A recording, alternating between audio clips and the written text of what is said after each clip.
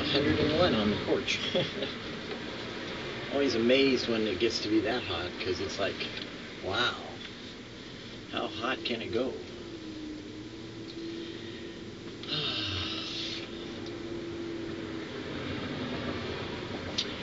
Cleanup.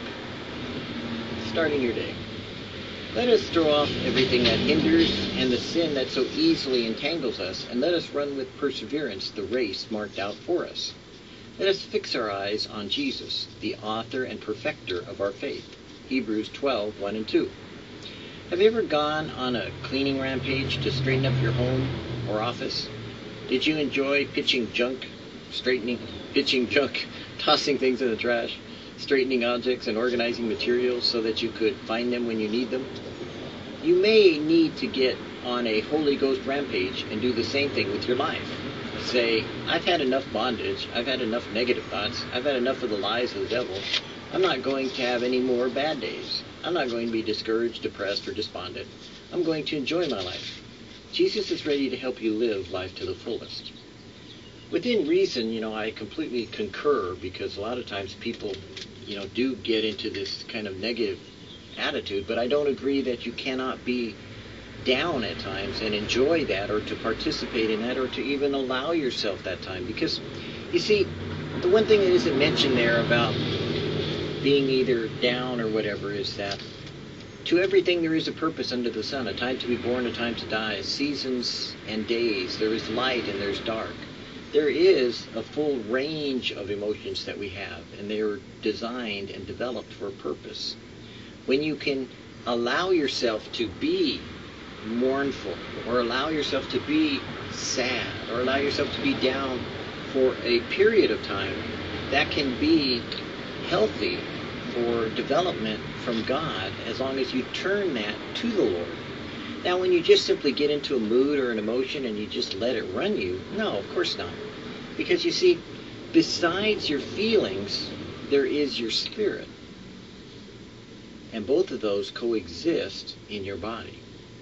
So, whatever is dominant is running your life. So, you want to have the ability in your spirit to control or to make decisions based upon where you're at and the circumstances of your life.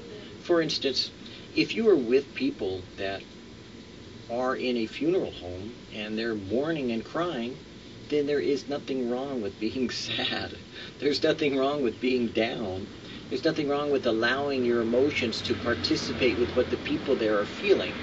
But don't let it ruin you or run you onward beyond where it should. It's a time to mourn. And then once it's done, you exercise, so to speak, the, the spiritual being you are by understanding that death is a process of life and that it's not something to be ending, but that there's a new beginning. And that we can take whatever tragedy we think we're encouraged or going through and encourage others by maybe feeling what they feel, but then also directing them in a different direction to move forward with their life. And so you have to have the ability almost like to switch on, switch off, so to speak, to be able to change your course when one minute you're you're feeling those emotions and the next minute you're able to control those emotions by the Holy Spirit in you. And God can do that for you. He really can. It's you're not you're never controlled by your emotions. It's just feelings. They change as quickly as a thought.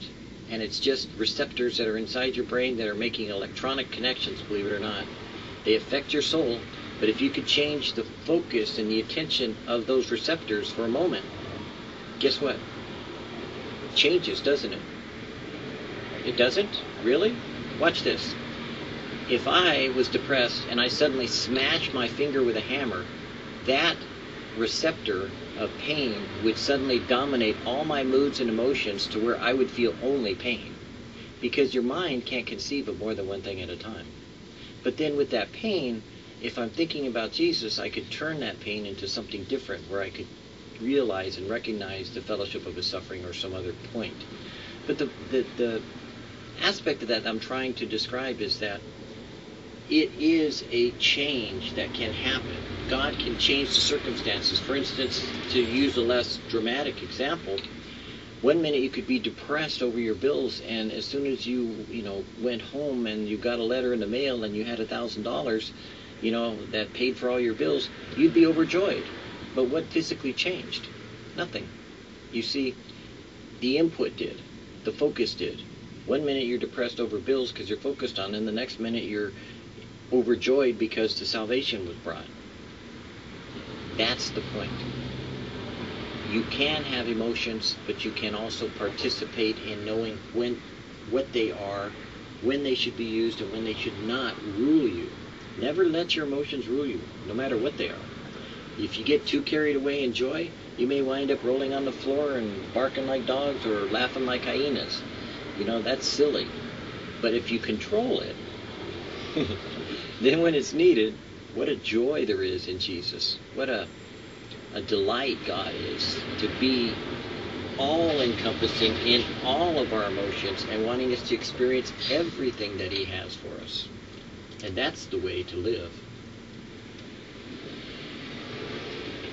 Complete, being perfected, and lacking nothing in all your emotion.